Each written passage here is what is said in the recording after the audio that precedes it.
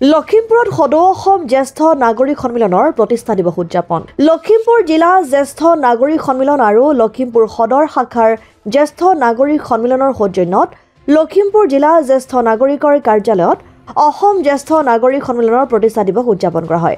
পুৱা পতাকা উত্তোলন কৰে লখিমপুৰ জিলা জ্যেষ্ঠ নাগৰিক সন্মিলনৰ সভাপতি ভূপেন দলে। ইয়াৰ পাছত বন্তি প্ৰজ্বলন স্মৃতি তৰ্পণ পৰৱৰ্তী সময়ত এখনি মুকলি সভা অনুষ্ঠিত কৰা হয়। জিলা সভাপতি ভূপেন দলে সভাপতিত্ব কৰা সভাখনি উদ্দেশ্য ব্যাখ্যা কৰে সদৰ শাখাৰ সম্পাদক দণ্ডী তামুলী ফুকনে। এই সভাতে কেইবাজনো জ্যেষ্ঠ ব্যক্তিক বিশেষভাৱে সম্বৰ্ধনা জনোৱা হয়। এই অনুষ্ঠানত নিৰ্দিষ্ট বক্তা হিচাপে উপস্থিত থাকে লখিমপুৰ জিলাৰ জ্যেষ্ঠ নাগৰিক সন্মিলনৰ প্ৰাক্তন সভাপতি তিলেশ্বৰ বৰা আৰু বিশিষ্ট অতিথি হিচাপে উপস্থিত থাকে জিলা তথ্য আৰু জনসংযোগ বিষয়া বংকিম চন্দ্ৰ ভাগৱতীৰ লগতে কেইবাজনো জ্যেষ্ঠ ব্যক্তি। লখিমপুৰৰ পৰা ৰাহানুদ্দিন আহমেদৰ ৰিপৰ্ট অসম আদিত্য।